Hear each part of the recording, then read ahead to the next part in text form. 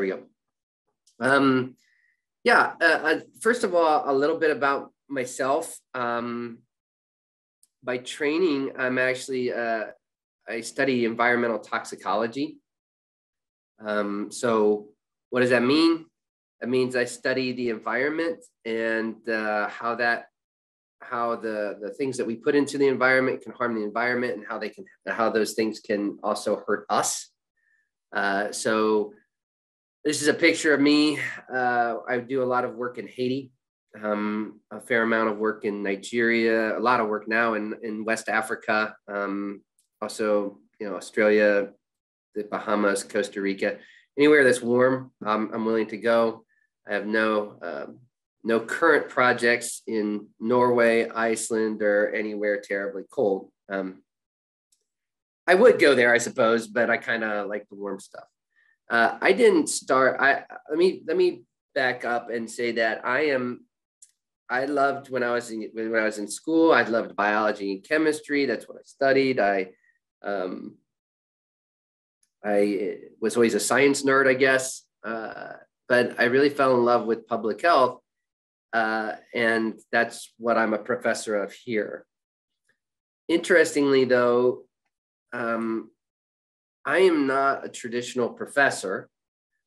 While I was getting my doctoral degree, I should say that just a little more context, not that, that this is super helpful, but I don't come from a family of business people. I don't come from a family of capitalists. I, I was adopted when I was 11 and I was adopted by a Presbyterian minister.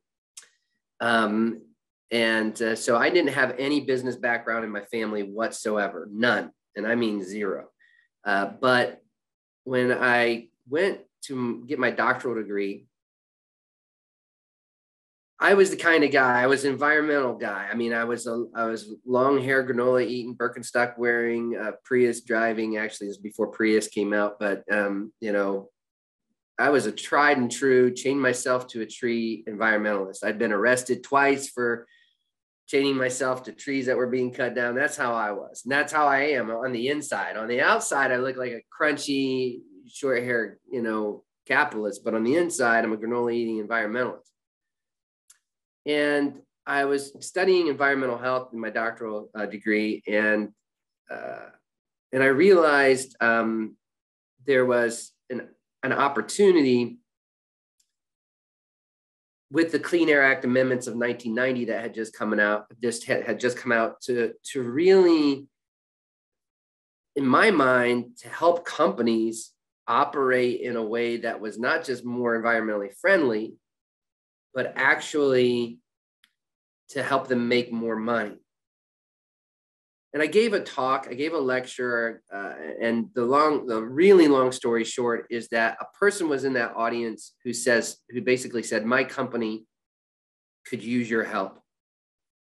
And I'm like, wait a second, you're like the evil empire. Like it's like the Luke, I'm your father. Luke, I am your father moment, you know, where it's like, wait a second, I don't think I want to work with you. You're the dark side but I, I, had a conversation with this individual and then subsequently with the company and i realized that uh, what i had could offer them a lot of value.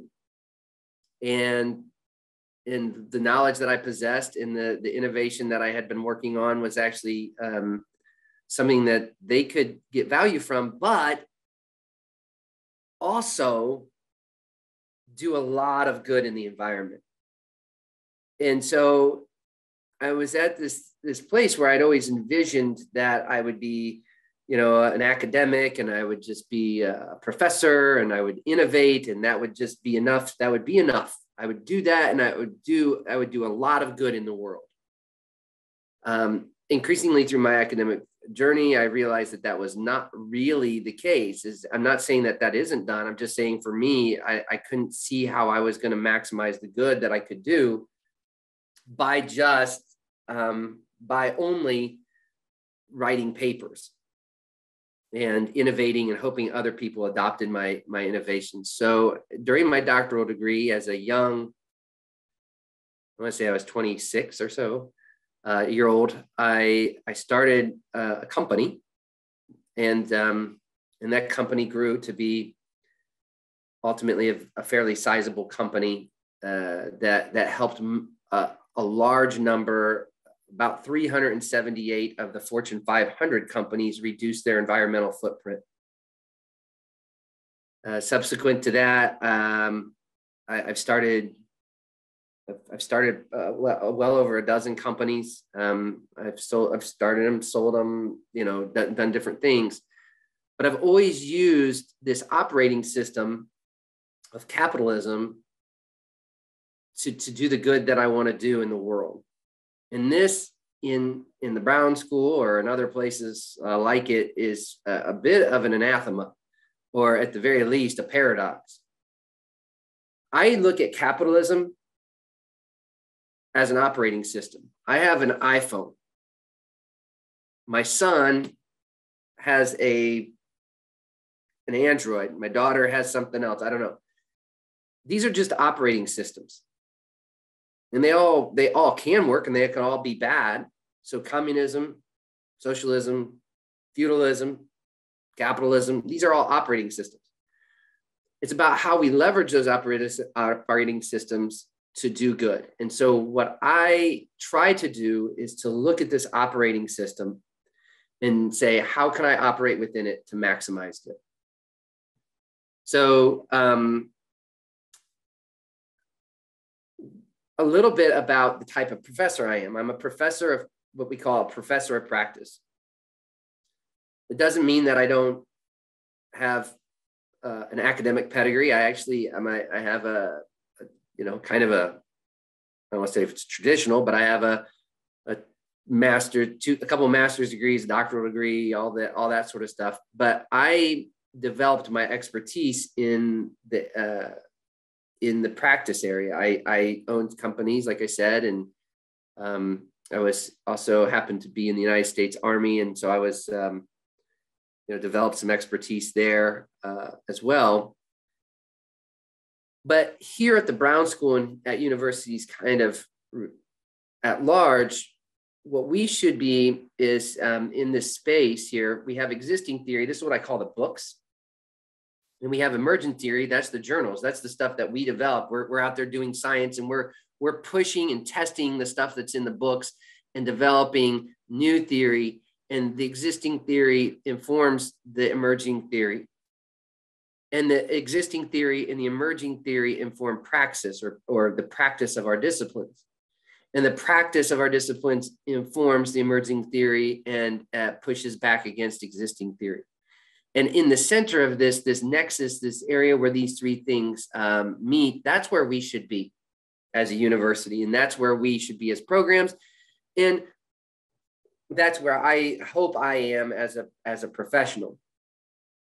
I spend a lot of time in the field out doing what i do but i spend a lot of time uh, hopefully developing new ideas and uh, testing old ones. And uh, so so i hope that wherever you go and whatever you choose to do academically, uh, understanding this is likely not your only option, uh, that that you should tr- hopefully identify a place that's committed to those to all three of those domains, not individually but incorporating them all into one another. Because I think it, just as a commentary that um, focusing too much on the vocation, the praxis, or too much on the theory uh, does a disservice to the, the people that we ultimately are going to serve. So that's where you'll find me. If you come visit me, you'll find me right in that little happy space, hopefully. Couple disclaimers. Um, I'm not always right.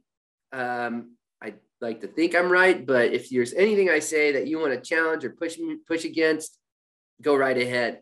Um, we can break some rules here. This is this is just also in this little talk, but also in, in our classes and in our lectures, and we should feel comfortable.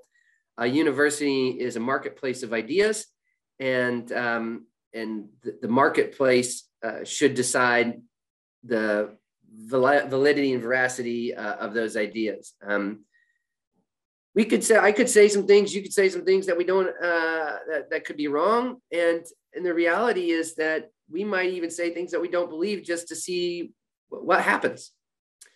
All this is um, the way it should be, in my opinion. So, all that's to say, I'll start this by saying I'm biased. The truth is, is that we're all biased. Anybody who says they're not biased is, is, lying to themselves. We all are biased, and that's okay. As long as we recognize that there's a possibility that I'm looking at the world through uh, through lenses or through a perspective that others may not have and, and may not be indicative of how the rest of, of humanity experiences that reality. My bias is that business uh, can be good and that the profit motive and profit is not a bad thing. I also, from my experience, and this is a pretty vast experience of working with thousands of companies, uh, is that most companies don't, most people in companies don't do bad things because they're they're bad people. Um, a lot of times, it's a function of ignorance uh, and uh, incentive structures or, or, and regulatory structures that are that compel certain behaviors um, that are that are that would be human nature. And so uh, i i come at this from a, a biased lens of saying that business is good. And uh, i have my evidence to support that. And i and i had a whole big chunk of this presentation that i took out substantiating that claim. Happy to discuss that if if you want to. So I want to pick a problem, just a, a really simple sort of, of issue. It's in the news a lot right now. Is when we talk about a, a need, and that need is for transportation, and the current um, infrastructural paradigm in the United States and in other countries uh, favors motorized transportation, motorized transportation of uh, particularly right now of, uh, of fossil fuel. Um, and so we have a uh, we have here a need for oil, for gasoline to make to make our cars go. Um, I'm, I'm reminded of a terrible joke. I'll share with you. I'm a dad. I have three kids. I told my kids the other day that the St. Louis Art Museum was robbed um, and my, my daughter, an art art fan, says, "Oh my gosh, it's terrible." I said, "Don't worry, they they caught the guys. They caught the people who did it." And she said, "Oh, that's good." And I said, "Yeah, it, it turns out that they um, that the robbers, uh, the getaway guy, the getaway van, he he forgot to bring the Monet to buy the gas to to make the van go. So that's um, my dad joke for the day. Uh, all right, I'll show myself out. I'm sorry. Um, anyway, thank you, Audrey. Thank you. I need that validation. Um, so how do we make our cars go? Well, let me let's talk through the process of getting that oil to our car. And the only thing I'm concerned about, most consumers are concerned about, is getting to work, getting to the places they need to go.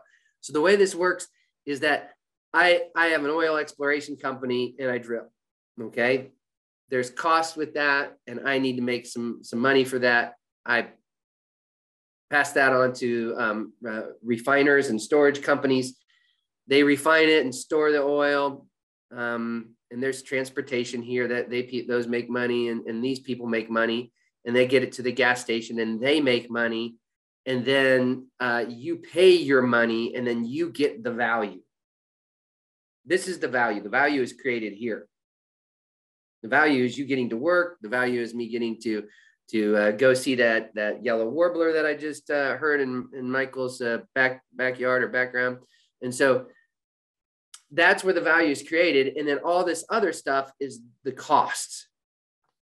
And so uh, right now, what's what is this cost? Does anybody where where you're at, wherever you're at? I mean, I don't know where people are at, but wherever you're at, what's that cost? Can I ask, Michael? What, like what do you six ask? bucks six bucks per per gallon. Gallon. Got it. Okay. 387. 387. Kansas. You're in Kansas, where yeah, yeah, in the Midwest we have lower, much lower gas taxes, and I think most states in the Midwest have like waived their gas taxes. So, what a, what a big difference! But so does it cost? Is the cost 387 what's the what's that cost represent that six dollars that 387 whatever it, the, does it represent the the gas station cost? Yes. And the transportation? Yes. And the the regulatory permitting? Yes. Does it cost does it cover this cost this cost this cost? Yes.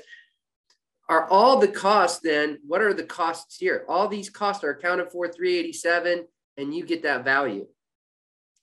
The reality is is that that's not the cost. The cost is is here. This is where I work in Nigeria. This is in the Delta state of Nigeria. You can't really see that, but that the reason it looks kind of white and shiny is because that little stream is is really just oil. it's covered with oil. This is the, the so we have an environmental cost here. The fisheries in the in the Niger Delta, we have poisoned fish, we have um, uh, fish that that people are eating and, and fisheries that people are uh, trying to make a living from are badly damaged. High, high, high, high rates of cancer in these areas, um, particularly blood cancers from benzene. Here, this is a, a picture I took in, in a town in Indiana, Whiting, Indiana, uh, where there's a refiner and they had a, they, they're always flaring. I'm always amazed at how much they've, they're they're flaring. Um, and living next to that community um, in that area, the, the incidence of childhood asthma is um, about 1.7 times greater than it is just uh, across upwind from that factory. Uh, this is a cleanup job that we did in um, one of my companies had, had done. Uh, I can't remember when I, I think it was Tennessee, but this was an old gas station and um, this was an underground storage tank. And clearly, the gas station closed um, many years before. This is now water.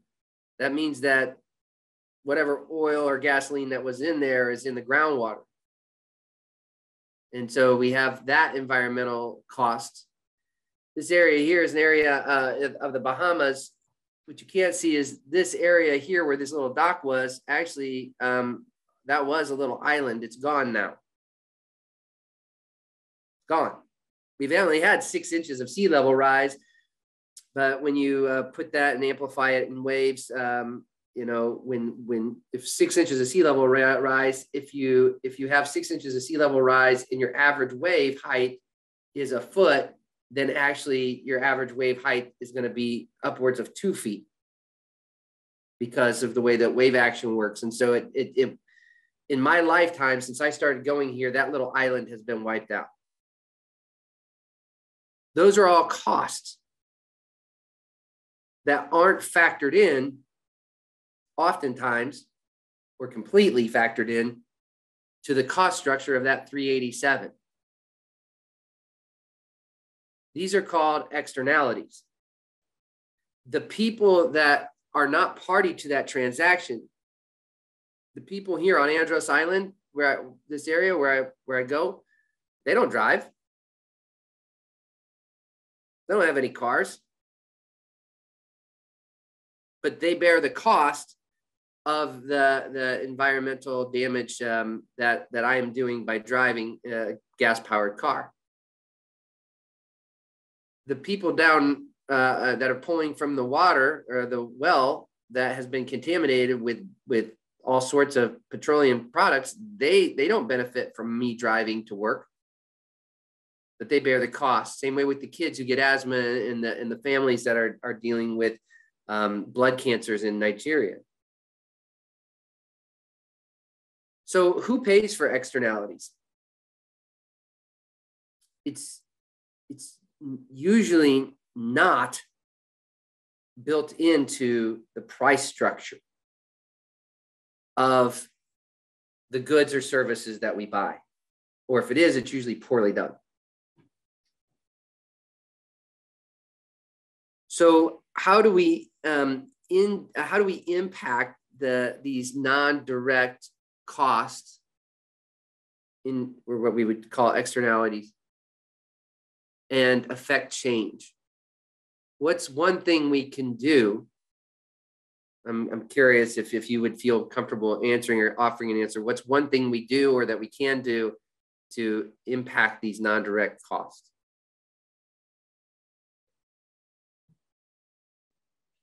Taxes, cap and trade. Taxes.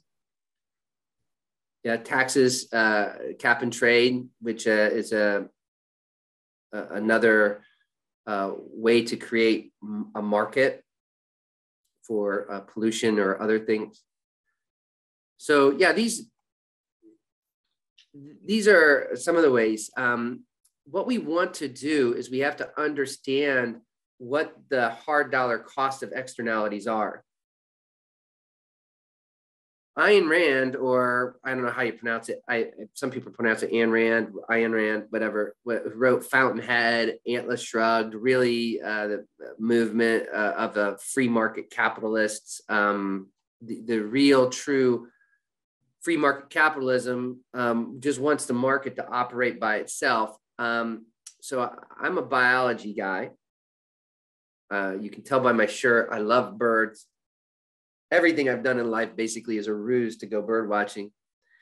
Um, but uh, when you study biology, you understand that there are there are regulators within biological systems, and those regulators, whether they be hormonal, whether they be um, uh, you know just natural um, feedback loops that inform the system when it's getting overheated in one area or the other. So when you understand biology and you see how that works, it's really easy to see how poor of a job we do in capitalist markets in regulating some of uh, some of the externalities and some of the uh, unintended consequences. It's hard to do, but it can be done. And then we need to build those um, those costs in through taxation. And there's a couple of ways you can actually do this. It's it's one is through taxation, the other one is through subsidy, um, the, the opposite. But um, with taxation, you can you can have graduated taxes, um, and, and they can you know you, we see that where it's like if you use x you pay y. If you use two times x you pay two and a half times y. If you use three times x you pay 10 times y. The other way that um, you know as michael just said is through uh, through permitting or licensing where like the clean air act amendments of 1990 which was the law that got me started in business what they do is they they say look businesses are going to pollute we're going to permit you to pollute and you're going to you're going to have a permit that allows you to pollute under these rules. And when you do that you, you pay for that permit. And um, and then we can use that when you do that, and this is the beauty of, and this is, I still think was in the, is in the realm of capitalism, even though I think strict free market capitalists would disagree with me. Those now the full burden of cost is put into the service or product through taxation. And and when you do that, it will increase the cost. It will increase the cost of that, that service or product and, and leave room open for innovation. The problem when, when we over subsidize or when we allow legacy businesses that have built efficiencies in from previous subsidies, say, for example, oil, the current electrical system, those are all those are all built and they're benefiting from cost structures that are 50 100 years old when labor was much cheaper and so on and so forth. And so now they get the benefit of having these assets in place and they can now deliver that good or service a lot more cheaply than something that is brand new, a new innovation that doesn't have that subsidy or doesn't have the benefit of those lower labor costs and material costs. And so the way that we can make up for that, it's not, I, I, I would posit that it's not corporate socialism, but it's just appropriate accounting for those costs, for the externalities. When you account appropriately for the, those costs, the, the cost of a gallon of gas should be probably close, closer to, to, to be a wash, to actually be a wash environmentally, where we can now, you know, um, pay for the damage that we're doing. It should probably be closer to about $12 a gallon.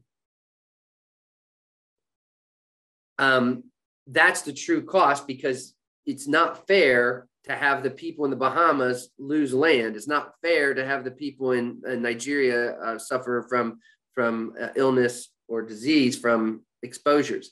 So, so we put all those externalities in. Now we can we increase the cost, and what that does is it leaves uh, space in the market for innovation.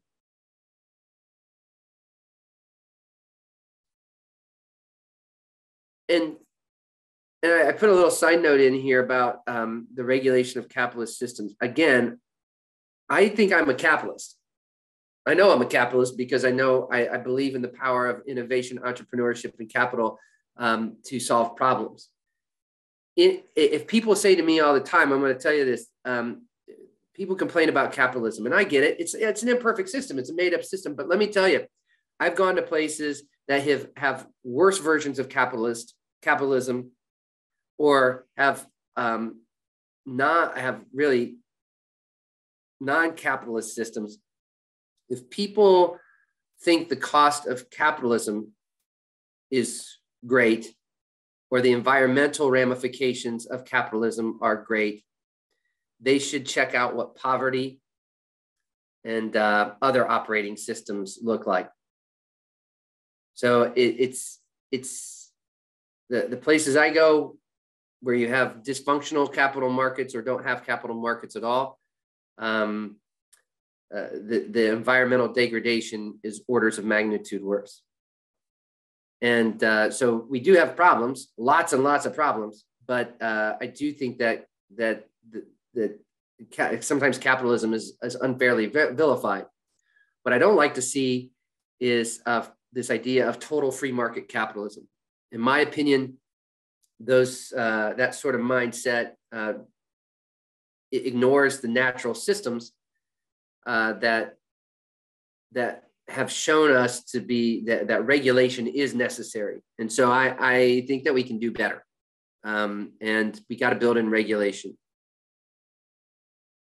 So what's the best mechanism to find solutions to problems in a cost effective manner anybody just out of curiosity, what, what do you think that if I want if I want to incentivize people to innovate around a problem, what do you think the best way to do that is?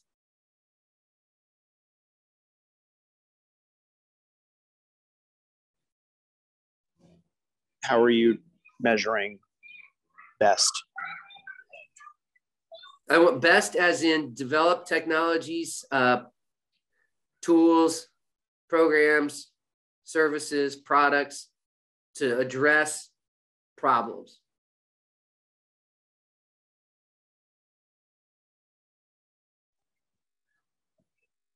I mean, I'm I'm guessing the answer you're looking for is competition.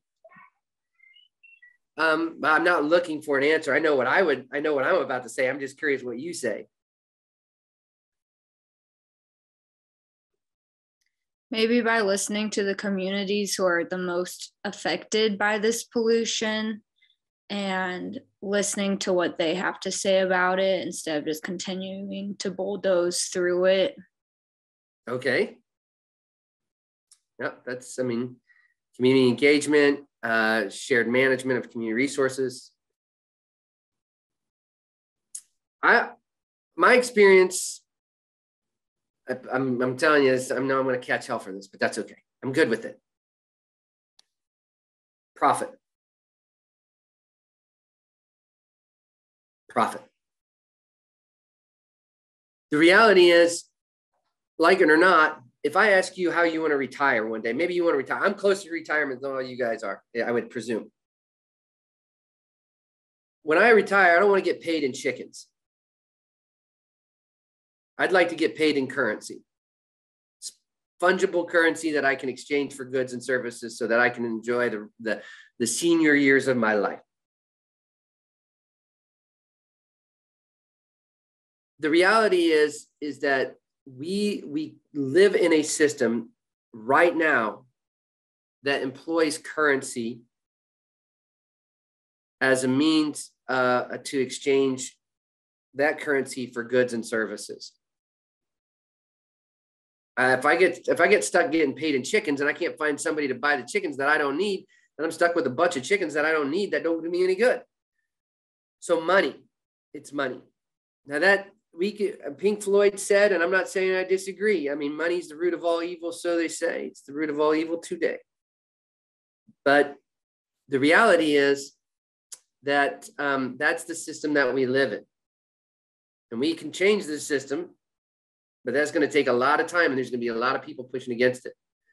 So, what I have learned is if I want to make change and make change fast, I have to give people the opportunity to profit from that change.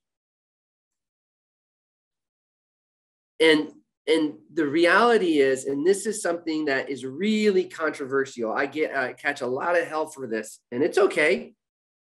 By the way, I, I uh, you guys don't know me. I'm actually a I'm a pretty nice guy. I'm a I think I'm a pretty nice guy. I'm like like I try not to be too offensive or anything like that. I'm I I love talking about this stuff and I can you can totally push back against me, especially if you have me in class. My students, we we always get matter of fact, I just right before this right before this talk, I had a student who who used to argue with me all the time in my class about about using entrepreneurship and capitalism to solve problems. She just she's graduated and she just texted me and said, "Hey, I'm gonna be in St. Louis. We got to get lunch." She says, "I miss our arguments." So anyway, um, what I have found is that the profit motive compels people to innovate about around a problem. And here's the big, big, big difference between nonprofit um, 501c3 sorts of organizations or traditional nonprofit and for profit is that it allows people who don't care about the problem to invest in your solution. The, the, the problem with nonprofit sorts of organizations is that to attract somebody to your mission, you you, you have to one you, you typically have to be very conservative in how you innovate because these are agencies and, or in, uh, bureaucracies they're institutions. Institutionalized community ownership requires a conservative fiduciary a conservative um, sort of approach um, because the, the community owns them and, and they don't usually change radically. Those organ uh, entrepreneurship is around is about revolution. What we do in public health, social work, not that we have to constantly blow shit up, but but what we should be thinking is about revolutionary change. Entrepreneurship, capital markets are around revolutionary change. That's what that's what entrepreneurship is nonprofits have to be careful because they're they're bureaucracies within that are community owned and so they can't be constantly being revolutionary because they they have a fiduciary to the community the other thing it's a big difference is that that that non nonprofit for profit entities. If we look at the amount of money that's available in capital markets and we put that in a room that's 100 feet long 20 feet tall and 100 feet wide. That's our room okay? Now we take the amount of money that's available through philanthropy and non and and through foundation and the Bill and Melinda Gates and the Wellcome Trust, that amount of money would fill up a three by three by three area in our room. The amount of money that's available for capital investment would fill up the rest of the room.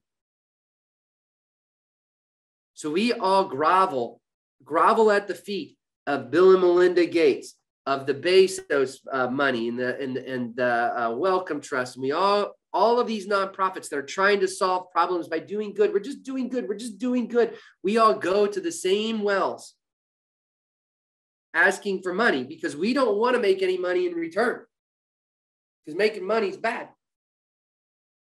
And and we we look for those resources where everybody else is going. And uh, and it pales in comparison to the amount of resources that are available in the in the capital market. I we I, I'm a, I'm part of a team here that we we came up with a detector, this tiny little device, it's this big, and it's about this size. It's a wearable. You wear it, and it measures the amount and type of dust that you're being exposed to.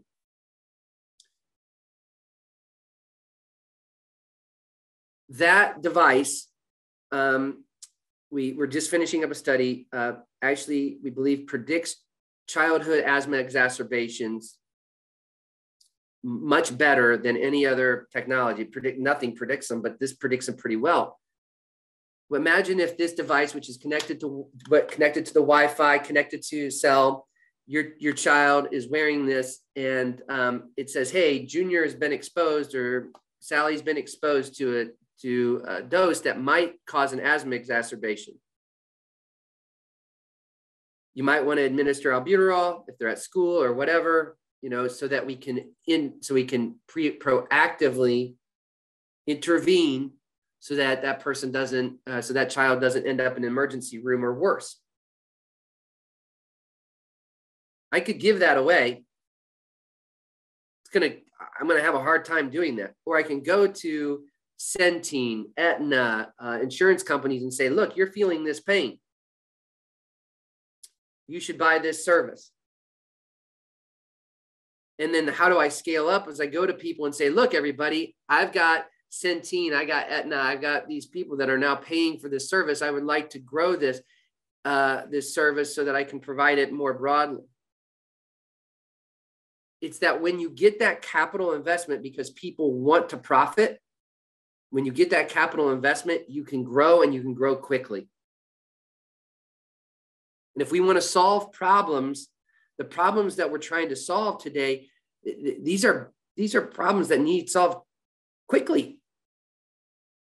And what I found is that if you want to attract the capital um, fast, then uh, to, to give people a chance to profit from it, is by far and away the most efficient and effective way to do that. Michael, you got a question? Comment? Uh, yeah, maybe both. Um, so I think that I think like a very important, uh, not to be understated part of all this is is the bit where you talked about like regulation and and allowing for innovation right? If we if we internalize the externalities and we price those in then it allows space for innovation. But like there's a massive amount of non-market work that goes into that regulatory process. And so this whole like market solutions aspect doesn't doesn't really come into play when there are externalities being thrown around. And and and the thing that is like way too slow for uh, the world is this regulatory system and the governance system uh, around internalizing the externalities so that then the market forces of innovation can come to play, right? Yeah, yes. And um, yes. I guess the, the, the yes and part is uh, that it's sometimes we use that we use that as an excuse not to innovate. And the fact of the matter is is that a lot of innovation a lot of a lot of those changes don't require um, don't require a huge either tax or subsidy. This this device this device does not there's no regulatory there's no regulatory um, uh, requirement there that would that would accept that necessarily I mean, sure, it would be great if I had the regulations there to to um, to subsidize or incentivize the uptake of that technology, but the the in some cases the problems are solvable without putting without internalizing the externalities. Well i mean i would argue that like the fact that people's healthcare like that insurers have to cover like basically everything right? And that's and that is legislated to some extent. Like that's what makes it possible for market forces to to you know to fund your sort of innovation. The fact that insurers can't just say oh you have asthma buzz off. They actually have to cover you. That means there's a cost inflicted so then they have to pay for your device. Yeah it's a good point. Um, healthcare is, is a, not a real market so uh, healthcare is a totally different animal altogether because it's the worst of a capitalist system and it's the worst of a socialist system. Take the worst of those two things, and you've got healthcare in the United States. Not the best. Don't take the best of those two systems. Take the worst of them. But it's a good point, and, and it's uh, these are the sorts of things that honestly in my class in my classes we spend a lot of time talking about. So I I, I think that you're you're hitting it exactly on the head to say, well, where can what are these inflection points? Where can you um, what what sectors can you can you use this approach most effectively? Um, because some sectors you need the regulatory help, in some cases you don't. So excellent, good stuff. I mean, these this is what I love, and and and we only have an hour, but like in a class, typically we would like open up. All right, let's talk about it. Split into small groups, whatever. Let's let's let's bird dog this for a little bit. Um, so I think that the the thing that uh, first of all, look, I am can't stress this enough. Like all my businesses, I've never done a business that I don't. Well, I mean, I shouldn't say that. I, I intentionally, I've tried very hard to do businesses that I think do good, and then if I make money or I do benefit, if I benefit from them, I try my very best to be good stewards of that value. Uh, my wife and I, we, we we try our best to to facilitate, um, you know, whether it be uh, other new businesses or other. Sometimes nonprofit is the only way we can we can affect the change that we want to. So we will obviously invest in those things too. But this isn't to say that we all have to turn into um, to money grubbing, you know, pigs or something like that. No, it's just that that we can leverage this system to uh, to be a member of that that club. What what's happened, what I've noticed is that people from social work, public health, uh, policy, other areas, we abdicated our spot at the table. We don't play in this space, and if we're not playing in this space, if we're not doing this, then then then who is going to represent those voices? Um, and it's again, it's not because there's evil people sitting on boards or things like this. It's just that this lens and, and this problem solving approach isn't present um, because we feel like we have to take a bow of poverty to be in our field. Um, so I think that what we can do is we can be creative. Uh, I work a lot in Australia. We, we've come up with some really interesting uh, ways to bring capital uh, to problem solving through uh, social impact bonds. Uh, that's something that is great. A cap and trade, which Michael mentioned, which is creating markets for for bad stuff like pollution. Um, it's it's not the only way, but if you want to bring people, if you want to bring money, the resources to solve a problem, if you want to maximize the resources that you bring, offering a profit or a, a return on investment um, is an effective way to do it. So I wanted to show you real quick, and I'll let, and then we'll we'll. I know we got just a few more minutes. I want to show you how I solve problems, and it's it's very simple. It's sort of linear. It's uh, probably a too easy of a model to to think about, but it works for me, and it's how I've always addressed problems. Whenever I see a problem in society or in the environment, I tend to focus a lot on environmental problems uh, I say, what's the need or the problem? Another way to frame the second question is who feels the pain of the problem? So who who has the need or who deals with the problem, but really who's feeling the pain of that problem? And how do they deal with the problem? And then how is my solution superior to how they are dealing with the problem? And then ultimately, how am I superior? who is willing to pay for it. Now, really what this is, is once you define who feels the pain of the problem, in business parlance, that's the market. Whatever they're doing to deal with the problem, that is your competition.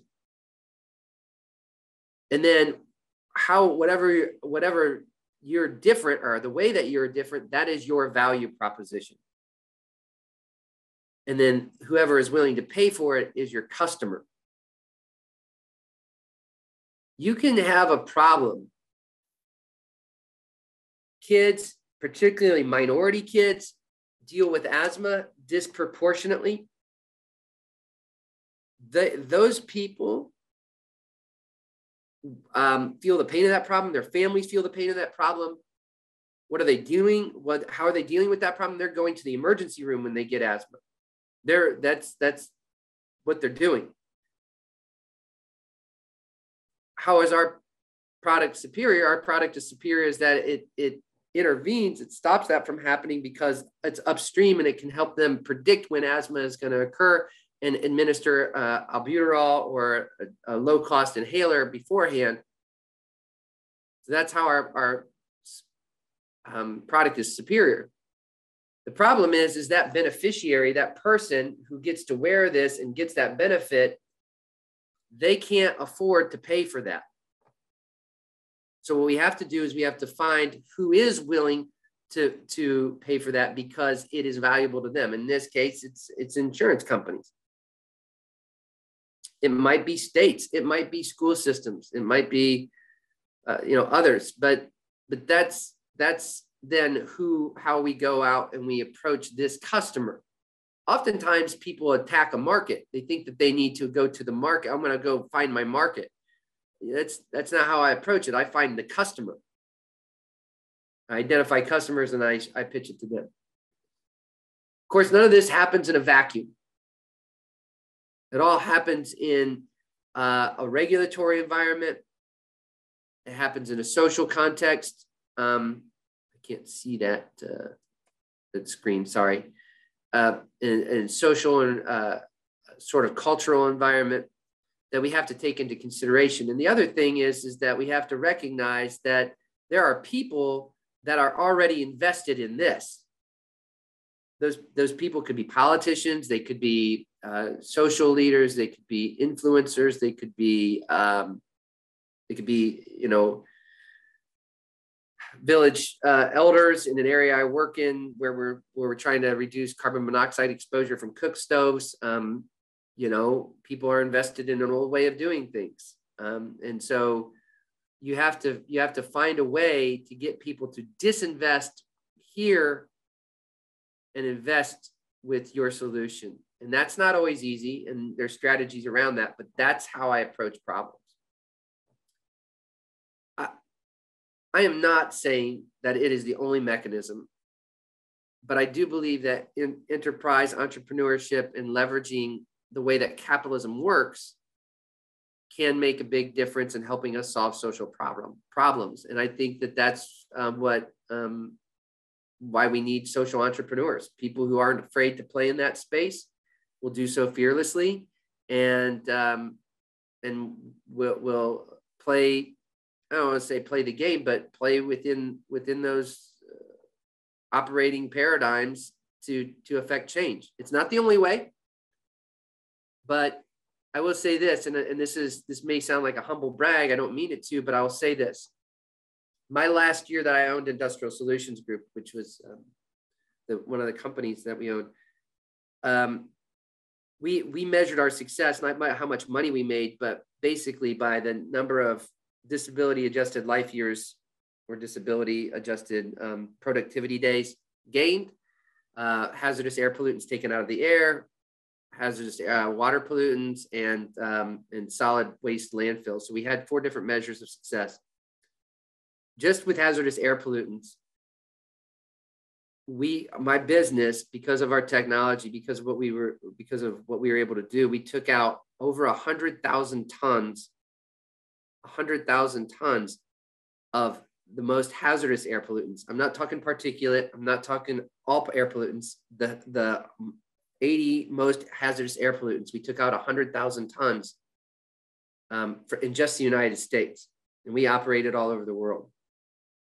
And, and we did so by providing value, charging for that value, and then reinvesting in technology to help reduce it further. And and whether it's that or other things, it's um, you can still do a lot of, of good that way. So um, at 223, I don't know, Sarah, if we got time for questions, um, if there's anything else that that um, people might have or want to add or push back on or.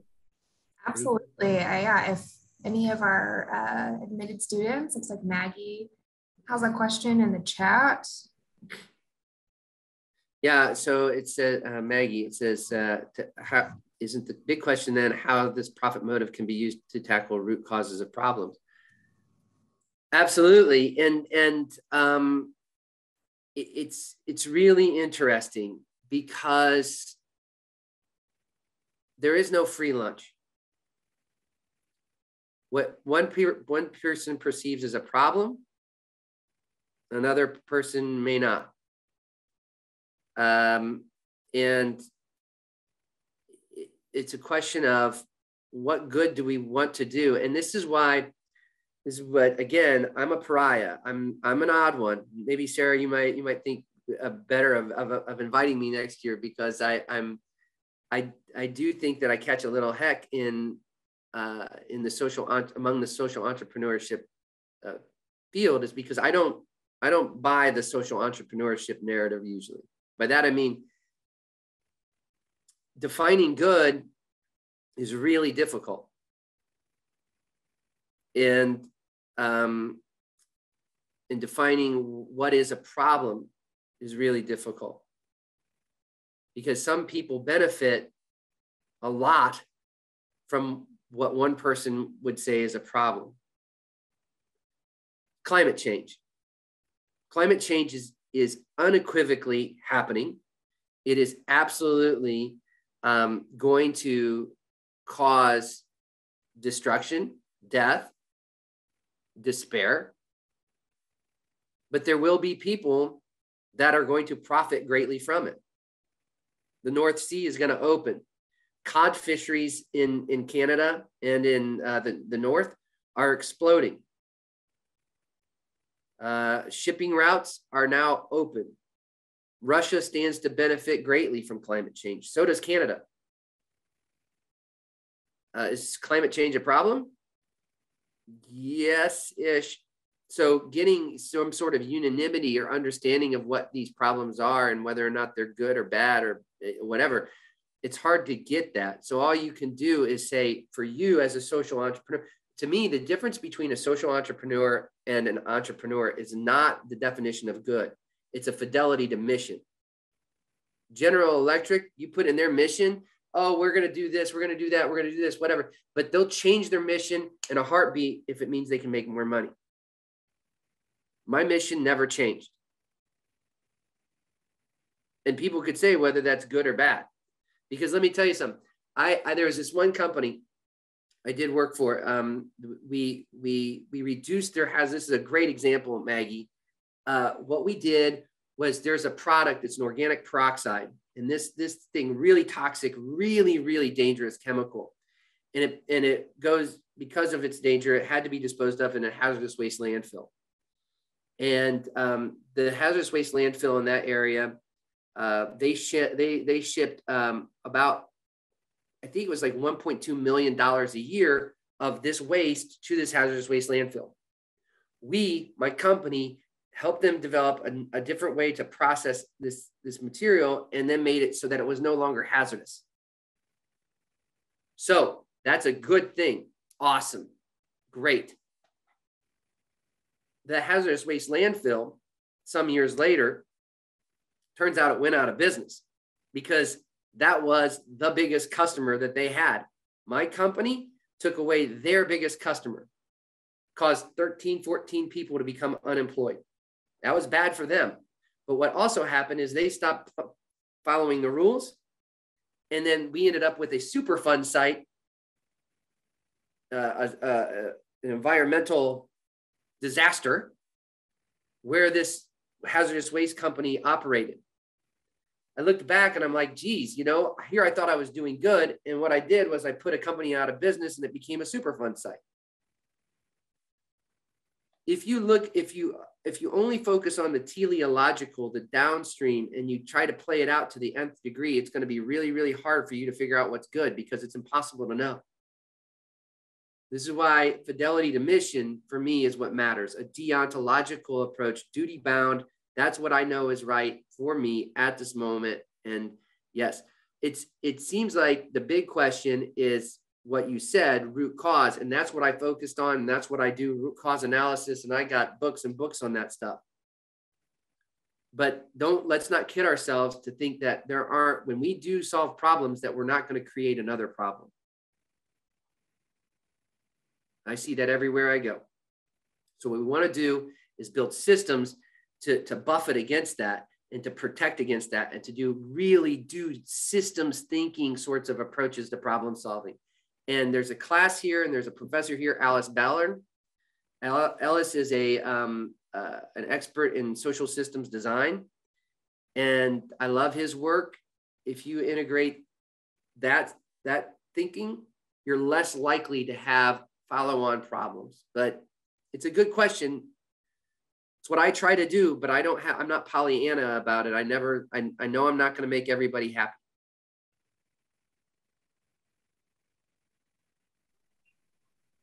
Any other questions, comments? I think you, you kind of got me thinking about, I mean, I definitely, you know, agree capitalism or any system is a, is an operating system. Um, but like, there's so many different flavors of capitalism anyway and so you know some of the issues come from like the rugged individualism of our flavor.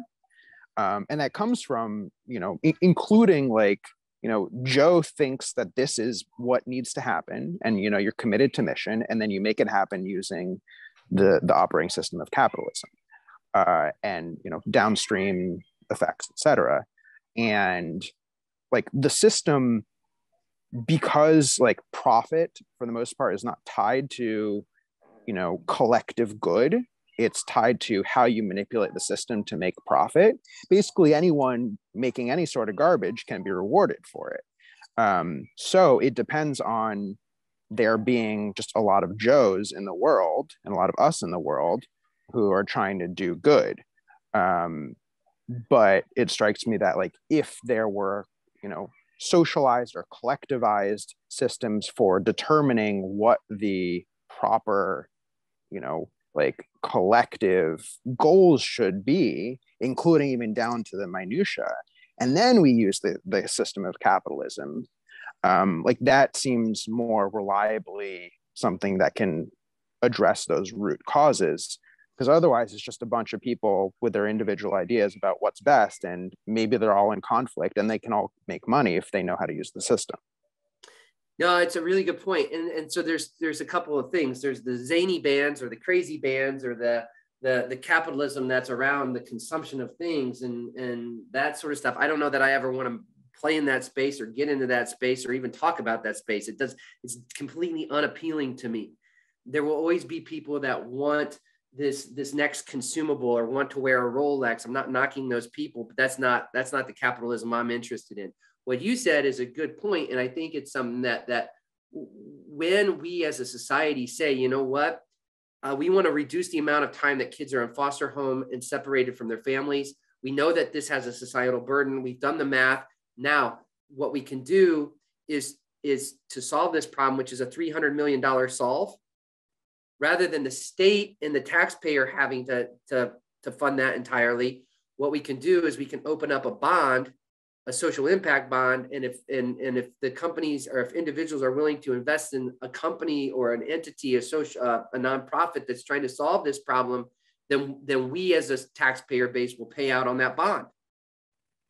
And so there's ways to leverage these these like you said the myriad flavors of capitalism um, and and do so in a way that attracts investment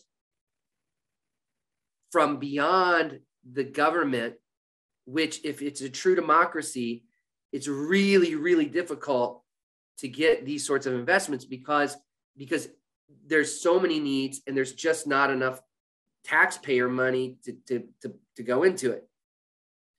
Um, and so if we can attract capital markets to solve the problems, uh, then, then I think that that's a reasonable solution. We can say you can make a 7% return or a 5% return um, and, and, and still do good.